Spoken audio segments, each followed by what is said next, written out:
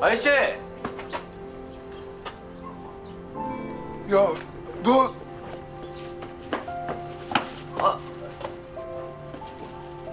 지금 시간에 살고 있는 아저씨죠?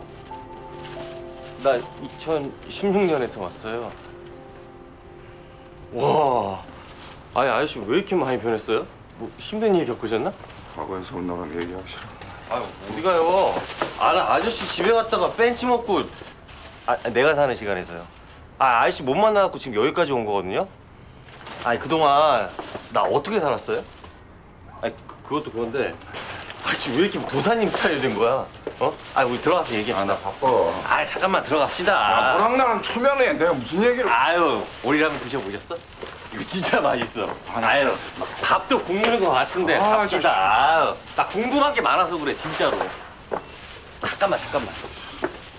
그러게 우리 초면인데. 들어와요.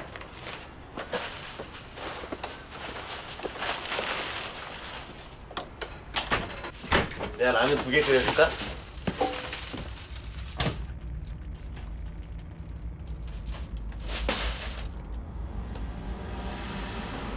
나 이사 갔어요?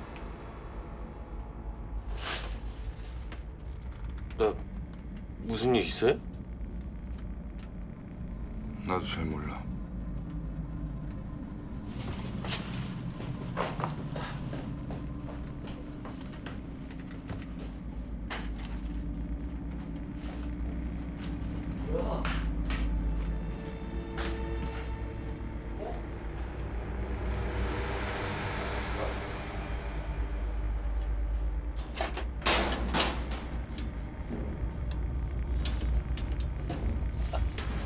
아씨 내 일기장도 없어졌어요 말해봐요 무슨 일인지 나는 너랑 연락이 잘 안 돼.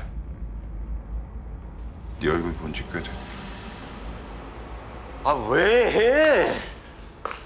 아 그게 무슨 말이에요 나랑 왜 아저씨가 왜 연락이 안 돼? 네가 사라졌으니까. 네가 사라졌다, 소준아. 해? 아니 내가 왜 사라져요? 그 그럼 마린인 송마린 어디 갔어요? 나한테 아무것도 물어보지 마. 애초에 너 내 옆에 둔 거 후회하고 있으니까. 이렇게 네 얼굴 보는 거 괴롭다. 간다. 아 알아듣게 설명을 해요. 아저씨, 내가 뭐 실수했어요? 아 이거 뭐 수수께끼 놀이 하는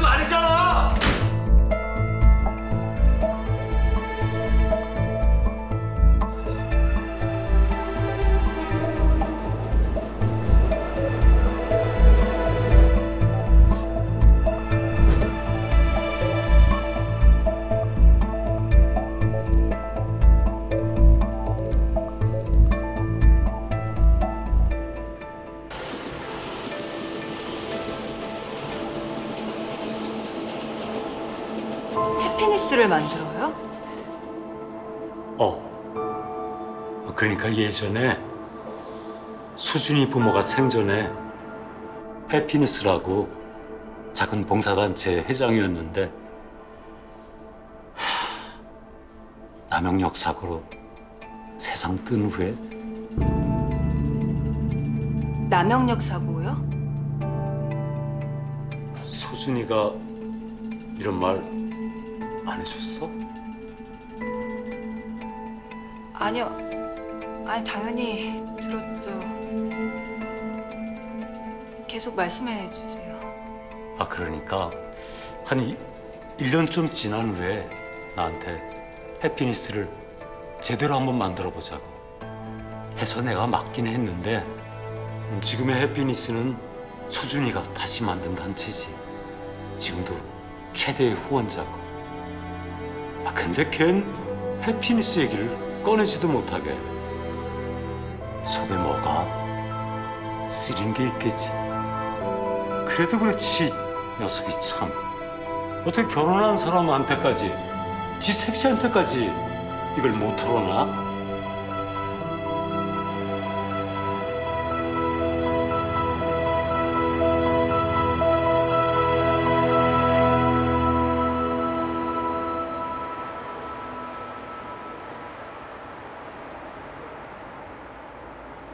여기 계실까? 수준이 부모님?